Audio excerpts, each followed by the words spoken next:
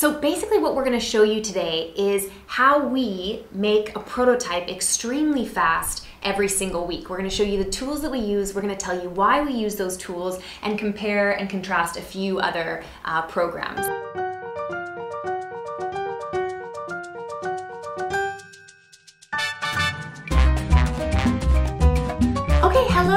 Everybody. I'm Brittany and this is Rob. Hi everybody. Uh, we are from AJ and Smart, of course, because you're on our channel. That makes sense.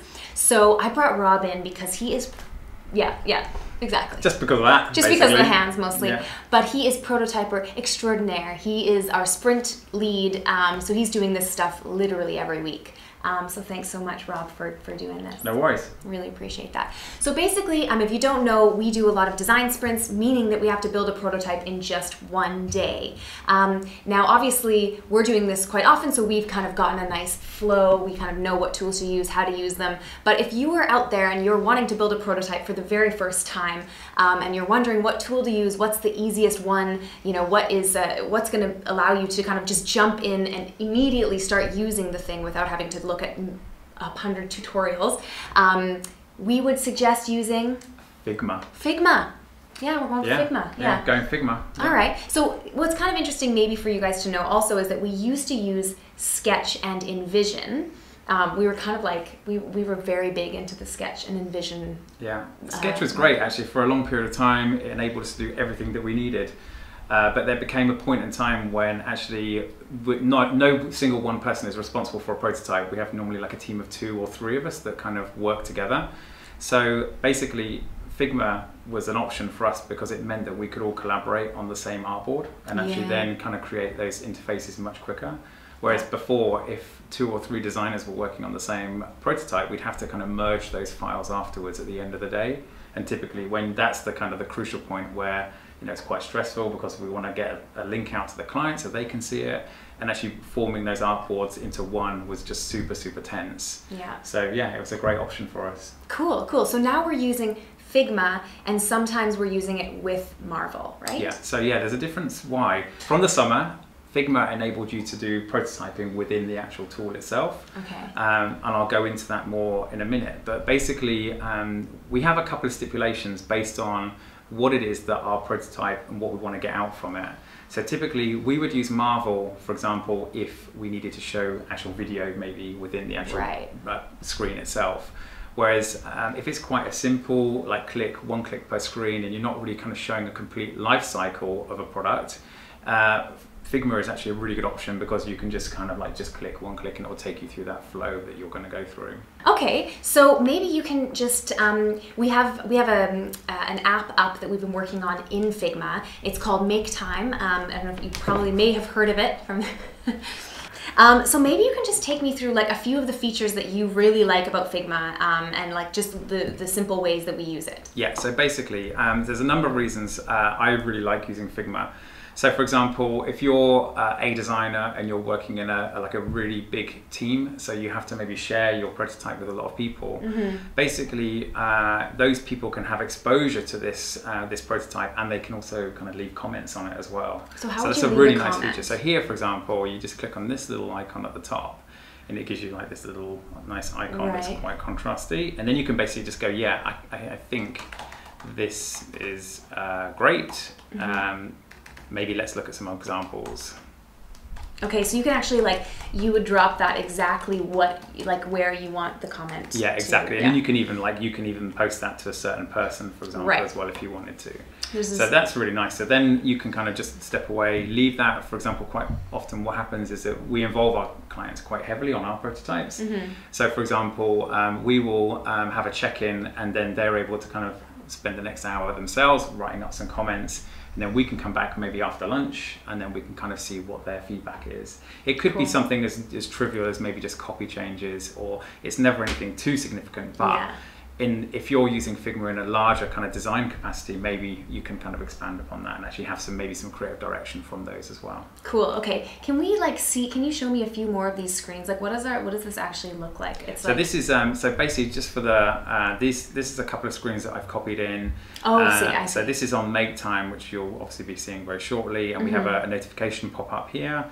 And then this is really quite cool. This is our timer as well. So this is how we've mocked this up. So you can mm-hmm. kind of see the, the level of detail that we have here. When you, and all these components are selectable as well. So you can kind of just see, you can kind of click into it and then move yeah. them as well. So yeah, it's that pretty flexible. Um, What I would say is that actually, if you have used Sketch in the past, uh, if you're new to Figma, like don't sweat it like you will pretty much learn the basics of figma within like a few hours okay. and within a day's usage you would be pretty proficient at it as well because a lot of the, uh, the functions uh, are quite similar okay, so it's quite, good. quite an easy learning curve Great. I, I, would say. Yeah, that's cool. Okay, so um, let me like, what if so you have these screens and everything, and you've designed the like the pop up and stuff. Yeah. What do you need to like? How does it work when you're wanting to like actually implement the like the functionality, like like connecting screens or like okay. this is just a prototype, right? Yeah, this so this is just a prototype. So this is where we would do all our, this is where we create. So this is yeah. like where, for example, if you're just getting started, I'll come to your question in just a second. I think it's good mm-hmm. just to start at the very beginning. Mm-hmm. If you're using this product for the very first time,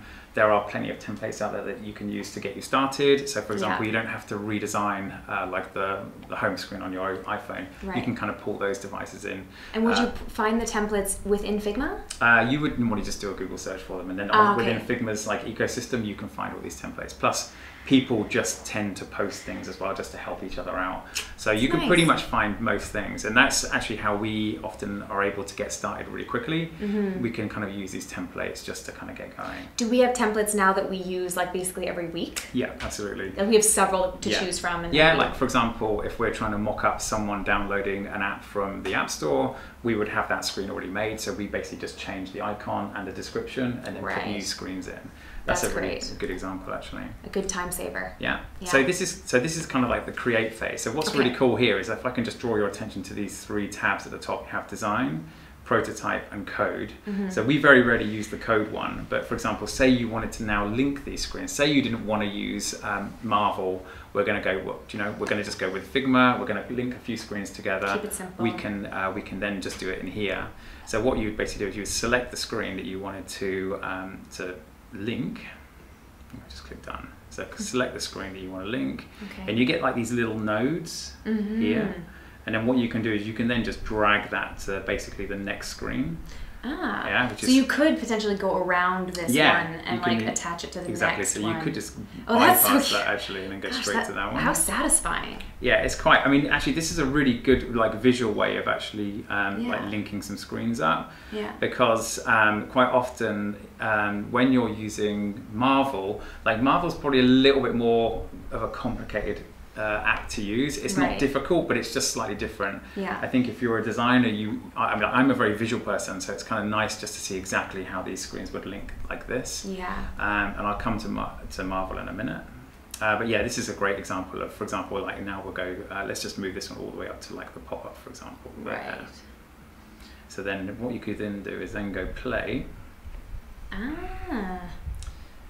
It's just loading it now.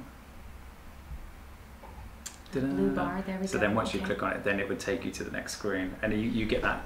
I mean, there's obviously a screen job; it's not a real so, flow, but it just shows you exactly like how. Right. What if you want it to be like that? You press on certain things to take you to certain areas. Certain areas, yes. Yeah, so again, so what we can do is we can go uh, go back now. Uh, we can go. So say you wanted to uh, go to a component. Is that what mm-hmm. you're saying? So say you want to dismiss that, yeah. Yeah. So what you can do is you can actually click on that component the icon. and then actually go back, and we could probably just ah. take you to. Let's go back to this, this screen, for example, for this example. There. Okay. So then we can play. So then when you click, it then goes. Cool. Yeah. So you yeah. can kind of link all these kind of components within your UI, yeah. or you can just link screens as well. So it's down to you guys, like how, like you need to work out the complexities of your prototype and what it is that you need to show your client, Yeah. and then you can kind of work out the simplest way of kind of executing that. Yeah. Yeah. I'll make sure that that pop up Yeah. isn't, isn't shown on. Cool. Rob just got an email from a client. Yeah.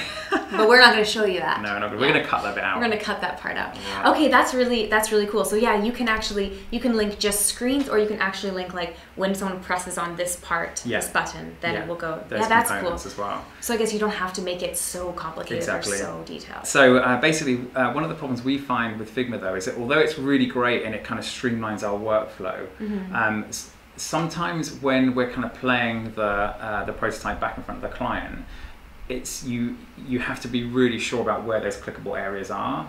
For example, Okay. in um, in Marvel. You get these really nice kind of highlighted blue boxes, Yes, which are really these. nice screen cues, Yeah. and you, we don't actually have those in the Figma. So as you'll notice, like when I was showing you just now, Yeah. you just need to know where it, where it clicks. So if you're if you have a lot of complexities on a screen, like maybe for example like a web uh, landing page, and you have multiple buttons that you need to click, sometimes it's good just to have those highlights, especially when you're guiding a user through for the very first time. Totally. Okay. Yeah. So you don't have to know remember exactly the flow. Yeah, exactly. Oh yeah, that's that's a good Exactly. point. Okay. So Figma is really great for, for example, say your team are working on PCs and in Macs as well. hmm It's actually a web uh, app so that you can actually just use the machine that you're most comfortable with and you don't have to conform to like Mm. either one or the other. That's So- with Figma. Yeah, that's with Figma. Uh, actually, and with Marvel as well. So they're both web apps. That's a Okay. plus side for both of them. Yeah. How fluid are they like when you're using them? Like like does it really feel like an actual app, like a real app? Yeah, actually, it doesn't feel like you're you, on a website. It, Okay. it feels like actually like the desktop version as well. okay. So, which is really really cool. yeah. So I would definitely say that there's. Um, I mean, there might be some performance issues for sure. Mhm. So, for example, say your internet drops, that obviously there's going to be problems. It's all Right. cloud based anyway.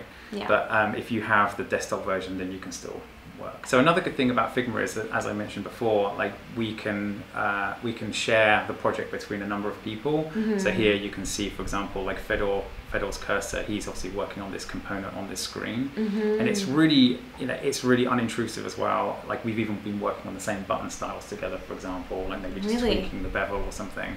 So it's really good that you can kind of have that exposure of what your colleague is working on, and obviously what you have to do as well. So again, Yeah. this aids the kind of speed in which um, your prototype will be made. Okay, so you're in design and then there's prototype, and that's where you link the things yeah, up. exactly. And code, which we don't use. So code we don't use so much, but for example, um, with uh, with Oak, we were working very closely with the developer, Mhm. and actually they were able to just literally pull out, for example, like if you have this blue, for example, as a hex color, Mhm. uh, they were able just to pull out those uh, those pieces of information from here. Literally every clickable component, you click on it, and it gives you the code for it, Fantastic. and then that obviously helps them kind of build things much quicker Yeah. as well. Great, cool. And yeah, so doing a handover from Figma to the developers Yeah. is actually like, yeah, quite it makes it yeah it makes it really seamless because they work from exactly the same files. And like in the past, you know, we've just had experiences where they're trying to get a, like a color reading from a JPEG, for example. And then just you have all these kind of complexities as well. So Yeah. they have the same exposure again because it's web based. They don't have to actually have it, the application on their desktop. That's cool. So it's totally yeah, it makes And they so can make notes easier. and questions Yeah, and stuff. exactly. Yeah, that's really cool. So it kind of completes the loop, if you imagine. Yeah, great. Okay, cool. I think that's like a really good sort of overview of why we use this this particular tool um, on a weekly basis. If you guys have any questions really specific about prototyping, about tools, put them in the comments. Either we'll answer them there or we'll create another video uh, with Rob. We'll test his expertise. Um, but yeah, thanks so much for watching. Please uh, give this video a like if you enjoyed it, if you liked seeing how we're working, what we're working on, um, and uh, definitely subscribe if you haven't already. Thank you so much, Thank you. Rob. Thank you, guys. And uh, have a wonderful prototyping day. Yeah, good luck. Are we clapping? I have no idea. we'll clap. We'll go clapping. Can we clapping? We can stop now.